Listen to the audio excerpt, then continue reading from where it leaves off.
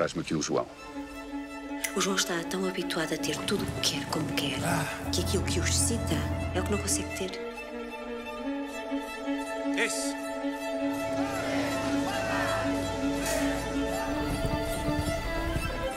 Lisboa fala-se da sua herdade como uma espécie de zona franca. Talvez um pouco mais, não?